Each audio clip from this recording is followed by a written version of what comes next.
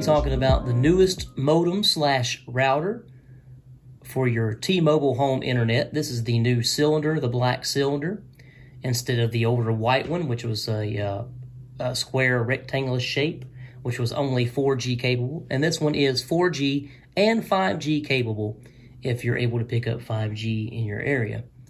And this one also has the 2.4 gigahertz band and the 5 gigahertz band. So it's uh, capable of both. I've had this particular router since early May is when we finally got it. Waited a pretty good while for this one to come in. Was was really looking forward to this one being uh, having better signal. They claimed this version was better than the older version, so um, we'll give you my input on that and a little bit more. So you guys stick around and we'll talk a little bit more about the newest modem slash router for your T-Mobile home internet. First off, I just wanted to say it comes with the uh, modem slash router itself. Just a quick start guide, no other directions or anything like that. You have your power adapter, and it comes with an Ethernet cable. That is the only thing that's included in the box. And if we look here on the box on the front, you have a picture of the cylinder itself, and it says high-speed internet gateway, 4G, 5G at the bottom. T-Mobile emblem there. What's included on the back. T-Mobile emblem there. Nothing on the bottom. And as we come into our living room here, excuse the mess, we have ours located right in the living room, which is about center point of our house for all of our devices and everything, and it picks up, uh, we get two bars of signal on this, so everywhere I place it, the, the max I've got is two bars, and every once in a while I'll pick up a third bar, but uh, this is the best place we've noticed for ours. And just to quickly show you what's on the back, you have your power right here. There's a UPS. I'm not sure exactly what that's for. You got your on and off button. You have your uh, a USB, and you have a couple of your uh, LAN inputs, and of course you have a, a telephone adapter. And what differs from this model, this is the bottom of the unit. This has a SIM card tray instead of just a little slot.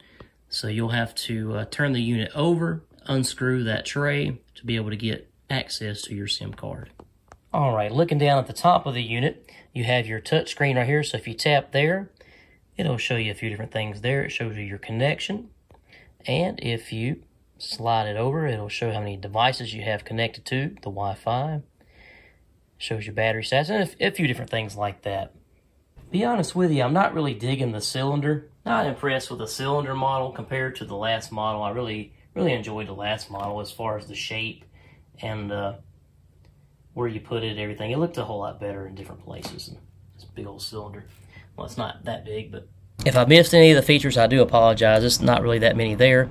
You just, it's really easy. You just turn it on, you get it, you plug it in, you turn it on, and uh, that's pretty much it. And this is what it came with, uh, just a quick start guide. It's like, that's it. And on the quick start guide, it tells you there, step one, position your unit, power on. And then you just uh, you can download the app and I think you have to scan. There's a barcode on the bottom of the unit that you can scan to help you through the setup process and AS where you uh, name your device and uh, set your password and stuff like that. And then we have this high-speed internet gateway safety and regulatory information.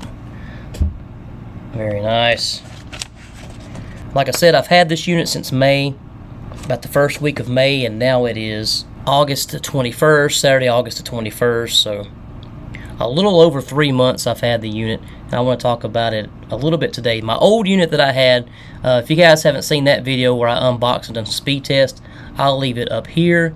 Go check that out. You can see what kind of speeds I was getting from the uh, original box, which was just the 4G. This this unit is 4G and 5G capable if you have 5G in your area. They're supposedly supposed to be updating and upgrading the towers. They've been doing that for a while, but uh, we don't really have 5G right here at my house. It, it only picks up the 4G capabilities. But I want to show you a few things that they don't tell you because you don't get any information about anything really. You, you have to figure it out on your own or call. And most of the time, when you do call the customer service, they're super nice. But uh, if you don't talk to tech support, the person you talk to really don't have any knowledge about uh, uh, anything really. Uh, one of the tech support guys I was talking to, he was looking up my location and I couldn't understand him. And he was trying to tell me what road. I asked him what roads and stuff my towers were on because I have two competing towers were uh, here at my location, and they're very very close to each. They're really really close together. With this particular router that we have, the newest router, it always connects for some reason or another to the slowest tower and I have to call every once in a while to get them connected to the faster tower. Sometimes you can cut it off and cut it back on and it'll do it automatically. It just depends, but it's kind of kind of frustrating, but all right, I want to go ahead and tell you a few things about the unit that they don't tell you or it's not in the guides or anything like that. Uh, with my old unit, the old square rectangle white box, uh, it had separate 2.4 gigahertz bands and 5 gigahertz bands. And it was uh, very obvious when you set it up because you could set up the different and name the two different uh, bands. When you set this one up, it doesn't show you that it has a separate 2.4 gigahertz and a separate 5 gigahertz band. But if you go into the router itself, the modem router, it tells you on the bottom the gateway there how to get to it through your uh, computer here so you can look at different settings and whatnot. But if you go to your network and go to your Wi-Fi networks and you can see over here that it has the 2.4 gigahertz band and a 5 gigahertz band. Now if you go over here to the 2.4 gigahertz band, it shows the SSID. Pull that up so you can see it. And this is what I named it when I first set it up. I, I named mine TMOB, TMOB, TMOB, whatever you want to call it. And it automatically names the 2.4 gigahertz band and the 5 gigahertz band that that same name and it doesn't ask you to set up either separately or anything. So what I've just recently found out is when I go to the 5 gigahertz band, I can rename that band. You can see that right there. I named that the T-Mob, T-Mob, whatever you want to call it, 5. That way when I go to a device, I can connect to the 5 gigahertz band or the 2.4 gigahertz if I so choose. So with that being said, all you got to do is change the name and go down here and save changes. Wait a second, and it's automatically saved. And that way, when you go up here to your to connect to your Wi-Fi, you can see there's two different settings right here. You got your are two different ones to connect to. You got your regular one and your five gigahertz that I just renamed. And I just found that out maybe a few weeks ago, I guess, and I've had this for almost three months, and that definitely helps out a whole lot, especially when you're trying to um, upload or download it's a little bit faster with the 5 gigahertz band for sure. Not much, but a little bit. And you can see all the settings and stuff. You can you can change those within the if you want to or need to. Shows you what channels you're connected to to each uh, band. And if you connect via Ethernet to another router, you can turn the Wi-Fi off, and that's supposed to keep it cooler, make it faster. I'm not sure. There's a lot of videos out there, guys, telling you the difference between uh, this, that, or other. All right, if we go to the overview here, guys, it shows you right here on the very front, front page, and it shows you right here your primary signal, and that is my 4G.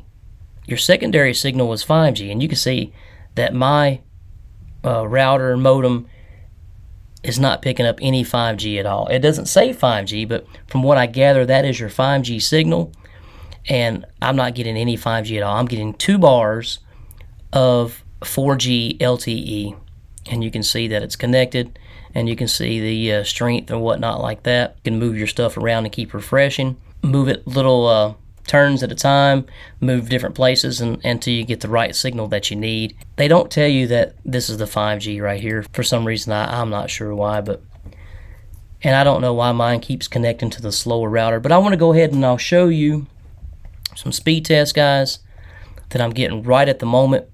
And you can see that it is uh, a quarter till four on a Saturday. And I am connected to the 5 gigahertz band. And I'll do both bands real quick and I'll show you uh, the difference. Let's, let's go ahead and start with the Google speed test on the 5 gigahertz band. and I can already tell that I'm connected to the slower uh, tower because I usually get between 10 and 20, 10, 15 on the slower tower, and usually between uh, 30 and 70 on the uh, faster tower. So I don't know why this connects. I don't know if I need to get a different router to put the SIM card in. Uh, or something like that. But and that's on the five gigahertz band, guys. Okay, let's go over here and change it to the 2.4 gigahertz band, and you can see it's highlighted, connected. Let's see what that does. If there's any difference at all, and you can tell, wow, that it is super slow today, guys. That's terrible. But believe it or not, with with five megabits per second download speed, it, it does quite a bit. You can still watch 720, 1080 uh, uh, videos and stuff like that with even just five. I'm I'm pretty happy if I can get 10 or more these days, but uh, it's kind of ridiculous to have to call to get them con- to connect it to the uh, the faster tower. That gets kind of old. But I've got to tell you, to be honest with you guys, compared to the Spectrum internet, even at the slowest speeds that the T-Mobile has, it is more consistent. For me personally, this is my my personal opinion, and uh, I'm not T-Mobile's not sponsoring me or anything like that. My personal opinion, this is a more steady, stable connection, even at 4G, than the cable. I don't know why, but I've had so much problems through the uh, Spectrum, and uh, and the price comparison at fifty dollars uh, with no fees or anything like that. For the T-Mobile compared to I think it was like 70 something 70 some dollars a month for the Spectrum that was so inconsistent all the time. Uh, it's a whole lot better deal for me and that's just my personal opinion. Let's connect back to the five we have. Run another one real fast. And you can see it popping up to almost 10 there on the five gig. And and just to let you know, guys, I'm I'm in the basement. I'm in my basement studio, and the router is upstairs. So you can and you can see that the, the signal coming down here is really really good. And I'm down here in my basement studio, guys. So that's that's another factor, a determining factor of your speed. I'm a little bit of ways away from the router itself, and and few doors and walls and and stuff like that uh, in between uh, myself and the router. So that determines the, the speed down here a little bit. If I go upstairs, the speed will probably be a little bit different. And I'll, I will do that. I'll go up to the router itself and connect my phone to the 5 gigahertz band right at the router itself just to see if there's any difference. As you guys can see, uh, almost 10 megabits per second download and uh, 6.23 upload. And we'll go upstairs and we'll do that now.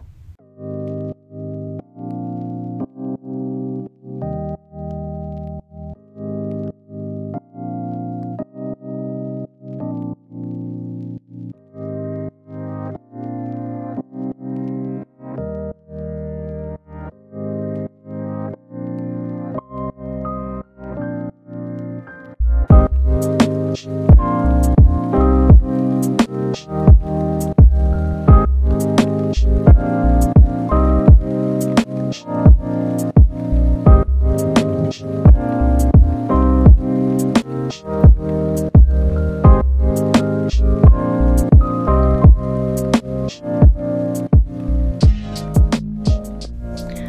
to sum it up, is the uh, T-Mobile home internet worth it, especially with a new router? It is for me, in my personal opinion. I really do enjoy it and have been uh, since we had it, uh, with even with the original router.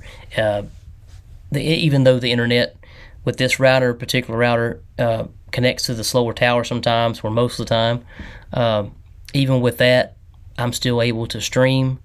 Uh, I'm able to watch Netflix with no problems. we watch Amazon Prime. We stream uh, YouTube videos all the time and upload. And I'm uploading and downloading, no problems whatsoever. Uh, I can live stream. Uh, I haven't done many live streams. I'll have to do some more of those, but uh, I can live stream without any problems, and it does uh, a pretty high quality video with no problems whatsoever. And uh, yeah, it, it, works great in my personal opinion. Is it worth it? It's totally worth it. And for fifty dollars a month, and you can see right there, guys, fifty dollars a month and that's with uh, ten dollar uh, if you do auto pay. So it's normally sixty dollars without auto pay, and if you do auto pay, it is fifty dollars a month with no fees, just a flat fifty bucks. And so that's that's totally worth it to me. If you have any questions, and I, will try to answer them to the best of my ability, just leave a comment down below. If you have any uh, concerns or anything like that, or, or any tips from me personally that would help me get a better better signal or uh, to connect to the right tower, or anything like that. Any tips would be uh, very much appreciated. You can give me any tips, leave them in the comment. Uh, definitely leave me a thumbs up, guys. Hit that like button. Uh, that helps out a whole lot. I really do appreciate it. If you like the video, definitely give it that thumbs up and uh, leave a comment. And if uh, if you feel so inclined, please uh, click that subscribe button, ring that bell for future video notifications. I really do appreciate it. And with that being said, thanks for tuning in. Thanks for watching. Stay tuned for the next one. And as always, plan, prepare, and practice. Handi out.